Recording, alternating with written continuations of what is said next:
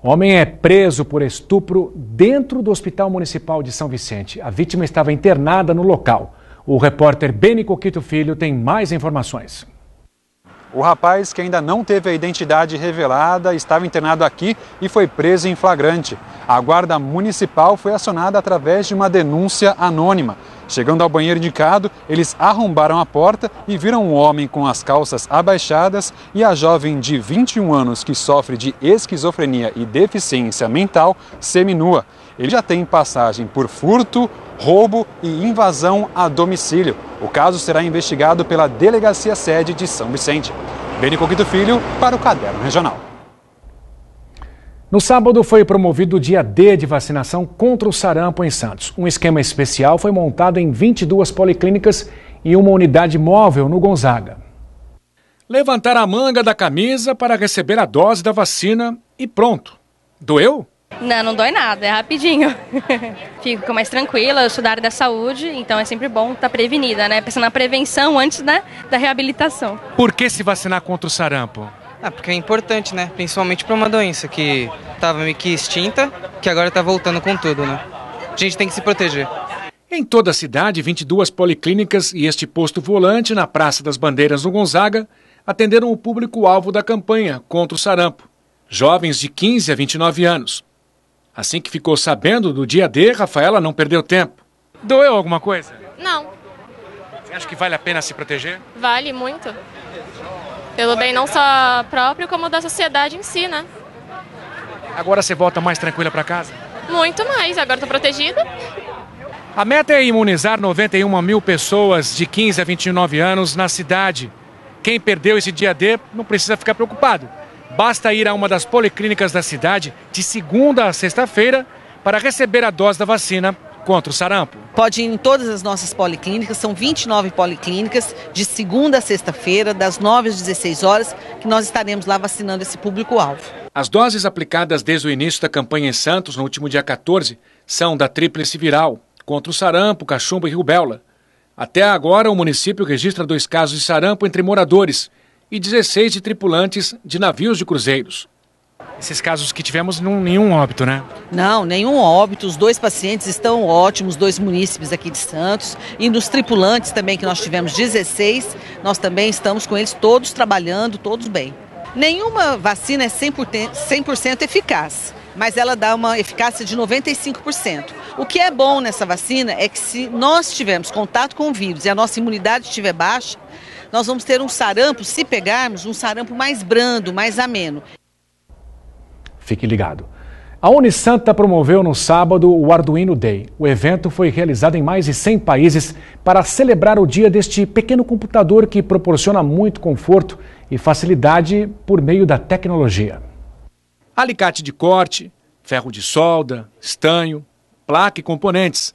Alunos do curso de Engenharia da Computação da Unisanta explicaram o passo a passo da montagem. Esse aqui, então, ele é para você estar tá soldando os terminais da placa, né? Então a gente começa pela parte de baixo e passa o ferro junto com o estanho para poder ir dando essa tintura mais prateada e aí você cobre toda a parte do cobre aqui. E aí eu ainda vou ver o que, que eles vão pedir pra gente agora ainda. Paciência, atenção, o que, que é preciso?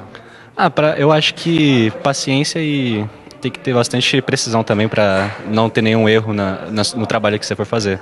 Esta foi uma das 15 oficinas do Arduino Day, promovido no sábado pela Unisanta, que reuniu mais de 300 participantes. Nesta outra, o grupo pôde aprender na prática sobre esta placa eletrônica, uma espécie de pequeno computador. Algo desconhecido para a Rafaela, estudante de fisioterapia da Unisanta. Eu nunca tive nada assim, de programação, então é um mundo bem interessante. E é tipo, não é tão difícil quanto eu achava. É bem legal. Tipo, isso mostrou que ele é acessível se a gente tentar aprender.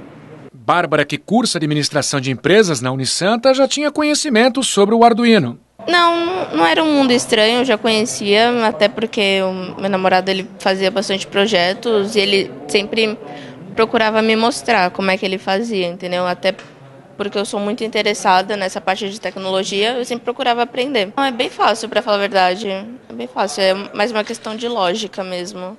Os participantes puderam ver de perto como esta tecnologia pode ser aplicada, como em impressora 3D e brinquedos. Este pequeno avião criado no Inove Fab Lab da Universidade de Santa Cecília é outro exemplo. O Arduino é uma, surgiu como uma plataforma de prototipagem. Então, os robistas né, utilizavam, pensaram num, num jeito de desenvolver algo fácil e acessível.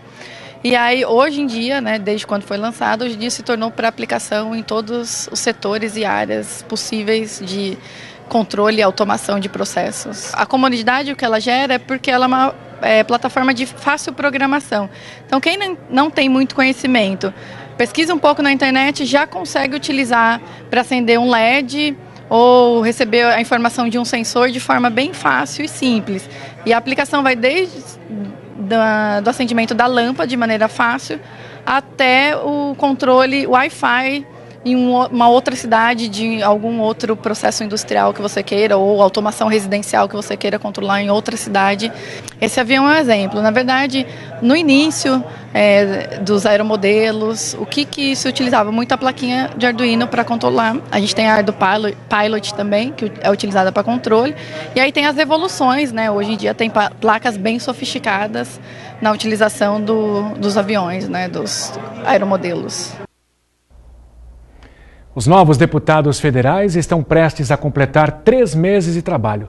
E nesta legislatura, a Baixada Santista tem entre seus representantes Júnior Bozella, que é o convidado desta noite aqui no Caderno Regional. Bem-vindo, deputado. Boa noite. Boa noite. Agradecer o convite aqui da Santa Cília, do Caderno Regional, à disposição da população da Baixada Santista. A gente que agradece. Eu gostaria de começar nossa conversa falando desses primeiros três meses. Qual o balanço? Olha, extremamente positivo. A gente que alcançou um resultado expressivo nas urnas e teve uma capilaridade é, muito grande em todo o estado de São Paulo e esse, essa questão que envolve a renovação política ela não está totalmente ligado é, à qualidade. Eu acho que a quantidade ela não reflete na qualidade. Então é, eu me empenhei muito né, logo após o período aí da, da, eleição, de entender o ambiente de Brasília, e a gente começou numa velocidade aí no dia 1 de fevereiro muito grande, né, atendendo a uma série de demandas da população, agenda com ministros, né, foram cinco ministros que eu já tive é, diretamente dialogando, levei os prefeitos, o prefeito Santos esteve comigo presente na audiência com três ministros, uma série de reivindicações importantes, né, seja na área da saúde, seja na área de, de infraestrutura, seja na questão portuária, enfim, uma série de ações é, necessárias né, para atender a população da Baixada Santista e também é, aquilo que, é, que envolve os projetos de leis que a gente apresentou, as comissões dentro da casa que eu estou atuando de forma é, bastante participativa. Então foram conquistas é, bastante substancial nesse curto espaço de tempo que iniciou o nosso mandato. Então a preocupação né, de ter um mandato de qualidade. Quantidade a gente vai ver lá na frente se ela vai realmente refletir na qualidade. Uma das questões que interessam aqui a Baixada é a dos caminhoneiros que buscam uma área de estacionamento depois do início das obras ali na entrada de Santos. Você tem feito gestões junto ao Ministério dos Portos para tentar resolver essa questão, não é isso? Claro, eu tive o cuidado né, durante o processo eleitoral de falar muito sobre a questão é, que envolve o Porto de Santos, até pela importância que o Porto tem é, para geração de emprego, renda, exporta, né, importa, são quase 30% que representa da nossa balança comercial. Então eu sabia que esse novo governo, é, e eu a responsabilidade que tenho de ser do partido do presidente da República, é, sei a, a intenção é, real desse governo, que é realmente trazer é, resultado eficiente na gestão. Então, tive conversando com o ministro Paulo Guedes, conversando com, com o ministro Tarcísio e fui entendendo né, é, como que o governo pensava e comecei a pautar as ações que envolvem o Porto de Santos é, dentro do governo. Criei um conselho consultivo, criei a frente parlamentar, acabei de apresentar um requerimento, eu faço parte da comissão é, de viação de transporte, a CVT, que é uma das mais importantes da casa, mas eu apresentei o primeiro requerimento é, da comissão, que é a reinstalação da subcomissão de portos. Né, a importância que essa subcomissão tem é, para a Baixada Santista e também para todo o país, todo o território nacional. Então são várias pautas que envolvem o Porto de Santos. E uma delas também envolve a questão dos caminhoneiros, né, onde o presidente do sindicato italiano me procurou e falou, Bozella, a gente precisa juntos aí em quatro mãos achar uma solução. E foi a reivindicação que eu fiz ao ministro Tarcísio, ao secretário nacional de Portos, Piloni. Tive uma agenda com, com o Casemiro Terço, que é o presidente da Codesp, agora na, na última sexta-feira, e tratando desse assunto. Então a gente vai junto aí achar uma solução uma área que possa ser bem estruturada, vai receber é, investimento, vai ser uma concessão, investimento da iniciativa privada, um grande pátio para atender não só a margem de Santos, mas também de Guarujá e Cubatão, para desobstruir a perimetral e esses caminhoneiros estarem bem é, é, estabelecidos, um ambiente com banheiro, iluminação, lanchonete, restaurante. Então, toda essa tratativa que eu tenho aí é, é feito e tenho me empenhado para que a gente busque solução para esses diversos problemas é, que tem aí realmente afligindo essa classe tão importante para o nosso país. É uma subcomissão dos portos, é isso? Sem dúvida, a subcomissão de portos ela é fundamental dentro da CVT para a gente dar tratativa a todos os assuntos que envolvem também o Porto de Santos. Falando em Porto de Santos, é, fala assim em privatização. Esse é o caminho? Como é que está essa questão? Olha, eu disse agora no início da, da, nossa entrevista que eu converso muito com o ministro Paulo Guedes e o ministro ele disse é, que a intenção dele de, se pudesse, ele privatizaria tudo. É, e o Porto de Santos não se pode falar em privatizar o porto, até porque o porto ele também já é explorado é, pelas empresas, ali é como se fosse um condomínio e elas atuam. É, então você não tem como privatizar o porto, senão você tem que é, privatizar a, Receita Federal, a Anvisa, a Polícia Federal, e não existe, não há caminhos para isso. O que nós temos que fazer é privatizar setores do Porto de Santos, que é o que a gente tem discutido com o ministro Tarcísio e também agora com o atual presidente da Codesp, o Casemiro Terce. Então a questão é, da dragagem, o monitoramento ambiental, né, o, o, monitoramento da fiscalização. Então, tudo isso são ações, a própria perimetral, que é uma, um estudo para que se possa fazer uma concessão, pedagiando ela. Então, tem diversas ações dentro do porto que elas vão poder, é, é, de forma organizada, é, serem é, é, repassadas para a iniciativa privada para que se tenha realmente uma gestão melhor e eficiente. Outra questão importante aqui, não só para a região, para o país inteiro, é a segurança pública. Você também está debruçado nesse assunto e propondo também medidas mais rigorosas para quem for flagrado entrando com celular nos presídios. Gostaria que você falasse um pouquinho mais. A exemplo do Porto, que eu criei um conselho consultivo, eu envolvi toda a comunidade portuária, até para eu ter subsídios na discussão que envolve o Porto de Santos e todos os portos do país, junto aos ministérios. Na questão da segurança, eu tomei a mesma, é, o mesmo cuidado, a mesma cautela e pincei alguns juristas, alguns advogados, promotores, juízes, para que pudessem me dar subsídios, para que a gente consiga é, discutir os assuntos de segurança. É, e eu criei, aí apresentei um, um projeto de lei para aumentar o tempo de reclusão para aqueles infratores que é, tentam ingressar nos presídios com celular, rádio de comunicador, de comunicador. Então, aumentando a pena aí para. tendo uma pena de 5 a 12 anos de reclusão. Aquilo que eu sempre falo, o ser, o ser humano ele só é, respeita aquilo que ele teme. Então nós precisamos ter leis severas para que as pessoas tenham a consciência de que, uma vez cometendo esse delito, essa infração, ela terá uma pena muito grande. Eu tenho uma agenda com o ministro Sérgio Moro, né, agora no, no, início de abril, já está agendada, justamente para eu levar é, o comunicado desse projeto de lei que eu apresentei, para que ele possa nos dar também né, o caminho, nos auxiliar, dar é, todos os subsídios necessários para que a gente consiga, dentro é, da Câmara, do Congresso, dar celeridade para a aprovação desse projeto de lei.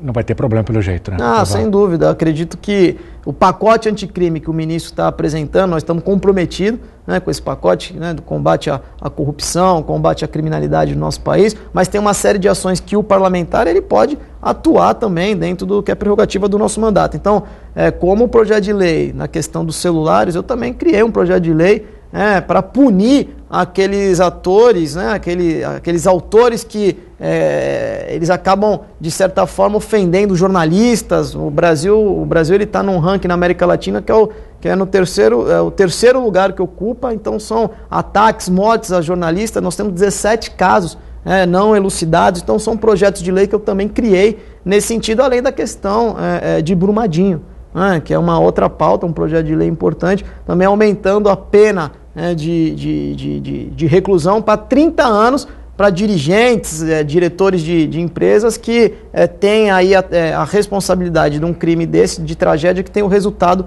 como morte. O caso da categoria de base do Flamengo, o caso de Mariana, o caso de Brumadinho. Então eu falei ao presidente da Vale que ele era um irresponsável. Deputado, para encerrar, aprovação da Previdência, da reforma, é um caminho sem volta? 100%. Se não fizer, o Brasil quebra, vira uma Grécia e quem vai pagar é a população. Aqueles que contribuem não vão conseguir mais receber né, a sua aposentadoria, aí é um caminho sem volta, então é um dinheiro jogado fora, perdido, e a nova geração também não vai poder se preparar para amanhã buscar sua aposentadoria. Nós temos que aprovar a reforma da Previdência. Vai aprovar? O que, que você está sentindo? Vai aprovar. Né? Eu sou membro da Comissão de Constituição e Justiça na Câmara. O presidente Felipe Francischini está imbuído. Vim agora no carro conversando com ele. Amanhã, chegando em Brasília, a gente tem uma pauta importante sobre esse assunto. A admissibilidade vai acontecer na CCJ, nós já temos os votos necessários e depois vamos tramitar no Congresso Nacional. E o governo está empenhado para que a reforma da Previdência, da Previdência possa ser aprovada e dentro da melhor maneira possível, é combatendo os privilégios. Inclusive, eu fui um dos poucos deputados que dei exemplo. Ah, eu abri mão do regime diferenciado especial de previdência que atende é, a deputados e senadores. Acho que o, o exemplo tem que partir é, de dentro para fora. Deputado, obrigado. Sucesso em Brasília. Eu que agradeço, estou à disposição. Estamos de volta para falar de futebol. A Portuguesa Santista venceu a Internacional de Limeira ontem fora de casa e garantiu classificação antecipada para a próxima fase do Campeonato Paulista da Série A2. A Briosa abriu o placar nessa cobrança de escanteio o juiz assinalou o gol contra, marcado para o volante capitão França. Ainda na primeira etapa, a portuguesa ampliou. Palinha nesse belo chute de fora da área. Na etapa complementar, a Inter diminuiu com o Charles. O time Santista quebrou um tabu histórico. Nunca havia vencido a equipe do interior no Limeirão. Com o resultado, a portuguesa assumiu a terceira posição da Série A2 com 23 pontos. Na próxima rodada, enfrenta o Taubaté, na quarta-feira, às 8 da noite, fora de casa. E pela primeira divisão, o Corinthians venceu o Oeste na Arena Itaquera ontem por 1 a 0. No sábado, o Palmeiras bateu São Paulo no, no Pacaembu pelo mesmo placar. O Santos, na sexta-feira, caiu também pela contagem mínima diante do Novo Horizontino no Pacaembu. Gol de Murilo. Com a derrota, o Peixe permaneceu com 22 pontos e perdeu a liderança do grupo A para o Red Bull. O Alvinegro volta a campo quarta-feira contra o Botafogo às nove e meia da noite em Ribeirão Preto. É a última rodada da primeira fase do Paulistão. Vai ser lançado amanhã em Santos o livro Boca Bendita. A obra mostra fatos e histórias que marcaram a noite no centro da cidade desde os anos 20. Eu conversei com o autor, Sérgio Teles Fernandes Lopes. Podemos dizer que é uma viagem no tempo lá no centro de Santos sem dúvida nenhuma, né? Nós começamos a, a, pesquisar, pegar o final do século retrasado já, 1892, 1894. Santos já possuía algumas casas de espetáculo e a partir daí começou, foi o fulcro, por assim dizer, para o desenvolvimento da, da noite santista. Depois, a partir de 1920, 24, até chegarmos é, no meio dessa nossa viagem aqui pelos anos dourados da, cidade de Santos. Boca Bendita por quê? Boca Bendita pelo seguinte, é, é pejorativamente costumava-se falar que pelo ambiente de, de noite, de prostituição, às vezes aquela boca maldita, a boca do lixo. E em conversa nós é, é, chegamos a uma conclusão que aquilo nunca podia ter esse nome aquilo é uma boca bendita, porque é bendita para nós todos que frequentamos, nós que tivemos aquele envolvimento todo com essa noite maravilhosa, os boêmios maravilhosos que por lá transitavam. Então a boca é bendita para nós por causa disso, né? Lançamento então nesta terça-feira às sete da noite. Perfeitamente. Lançamento é nesta terça-feira às sete da noite. Editora Comunicar e a Via Arte que está fazendo aí o meio de campo para a gente, certo? Sucesso, obrigado. Muito obrigado a vocês, hein? O livro que custa 50 reais vai ser lançado, como disse o próprio autor, nesta terça-feira, a partir das 7 da noite, no restaurante São Paulo, no Gonzaga. O endereço é Rua Carlos Afonseca, número 4. Estandarte Unisanta, Complexo Santa Cecília, premia escolas de samba do Carnaval Santista. Confira as campeãs na reportagem de Beni Coquito Filho. Noite de celebração a comunidade do samba e autoridades de Santos se reuniram na chancelaria da universidade para a entrega do prêmio Estandarte Unisanta.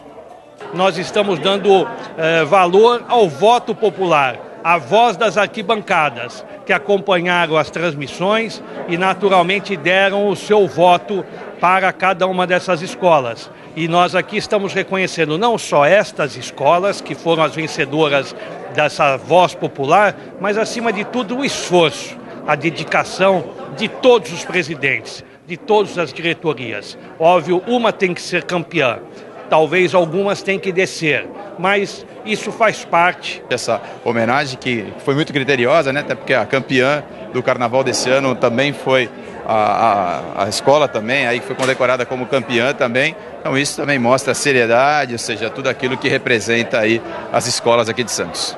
Nessa oitava edição, o público bateu o recorde.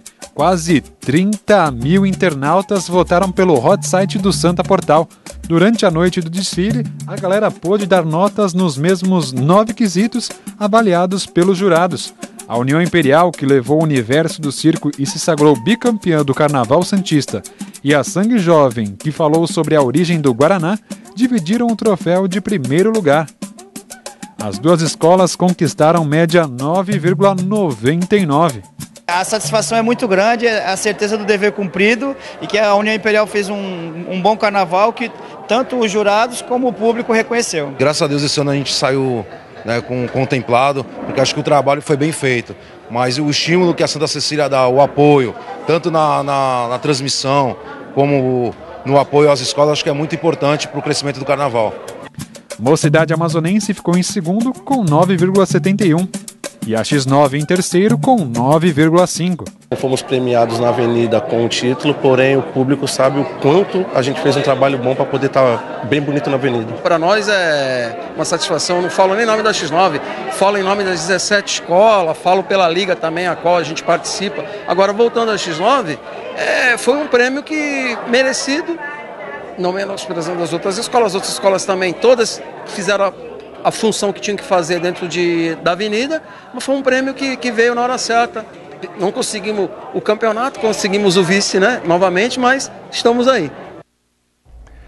Enquanto a maioria dos cinemas de rua fechou as portas na virada do século, o Cine Roxy, ícone da cultura da cidade de Santos, se manteve firme e forte se modernizou, inaugurou salas em outras cidades da região e vem acompanhando o avanço da tecnologia. Não é à toa que neste mês de março ele celebra 85 anos, festa que, aliás, é de todos os Santistas. Avenida Ana Costa Gonzaga. Aqui, em 1934, o empresário paulistano Antônio Campos Júnior inaugurou o Roxy, o primeiro cinema perto da praia em Santos. Duas décadas depois, o prédio foi demolido deu lugar a esta edificação que permanece até hoje. Em 2003, o Roxy passou a contar com cinco salas neste tradicional endereço. Foi a resposta à concorrência de cinemas e shoppings que começaram a ser abertos na virada da década de 1990 para o ano 2000. Um chega para lá na crise que atingiu muitos cinemas de rua. Cinema de rua com uma sala não, não tem mais condição de sobreviver. Mas um multiplex de rua tem, que é um cinema com cinco telas, no caso aqui do Rox, né? Eu posso passar cinco até dez filmes junto. Vira, acaba sendo uma Cinelândia, que nem a gente tinha aqui, que eram cinco, seis salas de cinemas grandes aqui. O pessoal vinha sem até ver que filme, procurava o um filme aqui andando pela rua. No multiplex vocês também podem vir e escolher o filme na hora, que deve ter sessão começando de meia e meia hora, de 15 15 minutos, então fica mais fácil. Toninho Campos pertence à terceira geração de uma família com espírito empreendedor, que transformou o Roxy na principal marca cinematográfica da Baixada Santista e uma das mais importantes do país. Eu nasci numa lata de filme, né? Porque desde criança eu via os filmes que eram proibidos para 18 anos na cabine, né? Que eu não podia descer na, na sala. Atualmente a rede conta com 17 salas em Santos, São Vicente e Cubatão, todas digitalizadas. Nas telonas do Roxy, vários lançamentos e pré-lançamentos. Todos os anos, o Roxy também abre espaço para lançamentos de produções locais, de curtas, médias e longa-metragens, além de outros eventos. Para quem produz cinema na região, é muito importante você ter um espaço que exiba o seu filme na tela grande. Todo cineasta, todo produtor quer ver o seu filme exibido numa tela grande. O Toninho ele abre as portas do cinema para eventos culturais, para festivais, para minha palestra do Oscar, para a exibição do Oscar. O Cine Roxy também tem sua calçada da fama, inaugurada em junho de 2004. Foi quando estreou Pelé Eterno. O rei do futebol registrou as mãos neste espaço no Hall da Fama, onde estão imortalizados, por exemplo, o craque Neymar, o cantor Chorão e o crítico Rubens Evaldo Filho. Chegar aos 85 anos com modernas salas e projetores não foi nada fácil. Mas Toninho Campos já está de olho nas novas tecnologias para manter uma tradição e comemorar muitos anos mais. São muitas tendências que eu tenho que sentar e esperar um pouquinho para ver o que acontece, porque quem não tem muita bala tem que gastar certo, não pode desperdiçar. Falou.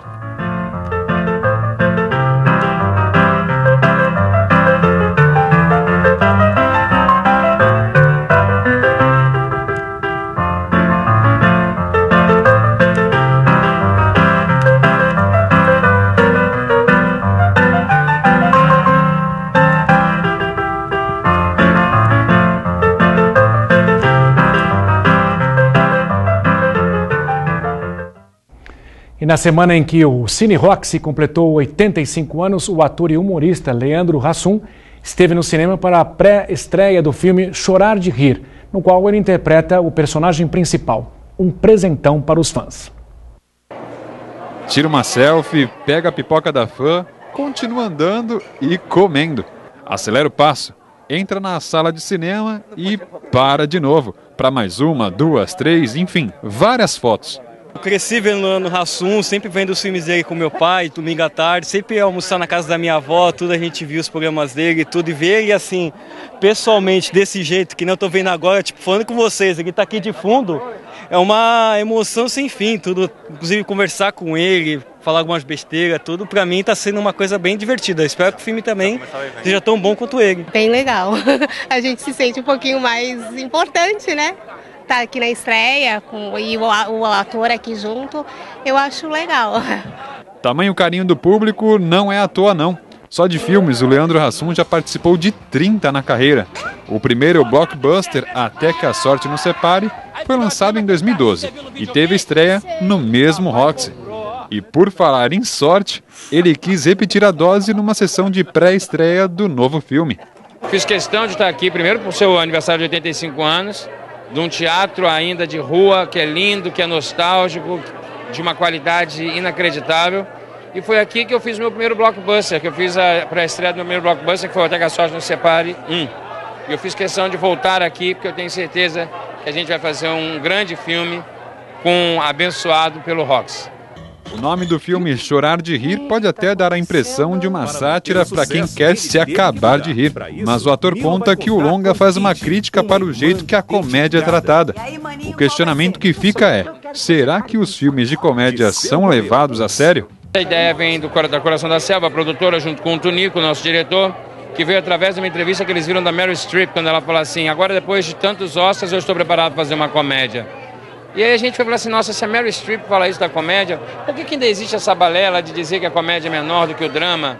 E resolvemos contar a história desse cara que se fala tanto essa história de ah, o, ator comediante não ganha prêmio, só quem ganha é o ator dramático, o drama é mais valorizado do que a comédia. E a, e a história do Nilo conta a história desse comediante que se incomoda com isso e resolve abdicar da comédia para fazer drama. E aí vem toda a história, caça por várias roubadas e várias coisas engraçadas, tem uma realidade fantástica, muito bacana no filme. Hassum interpreta Nilo Perequê, o melhor comediante do Brasil. Ele se frustra ao acreditar que nunca será o melhor ator caso continue trabalhando em comédia. Larga tudo para começar do zero. O que Nilo não contava era que alguém jogaria um feitiço para que ele nunca conseguisse deixar o lado cômico. A curiosidade bacana foi ter a presença do Sidney Magal, que é um ícone, né? maravilhoso da nossa música e assim tá em cena com ele foi delicioso. A gente já tinha feito uma parceria, mas numa animação que é o Gru, onde eu fazia o Gru e ele fazia o, o vilão que era um mexicano e tal. Mas a gente não se encontrou em cena. E no Chorar de Rir foi a primeira vez que a gente se encontra em cena e foi delicioso contracenar com ele. Além deles, Rafael Portugal, Monique Afradique e Otávio Miller também estão no elenco do filme que vai te fazer chorar de rir. Mamãe me levou para me registrar. Chegou lá no cara, o cara falou assim: Tu é menino ou menina? Minha mãe falou: Comediante. Sabe o nome que mamãe me deu? Nilo Perequê. Uma boa noite e até amanhã. Tchau.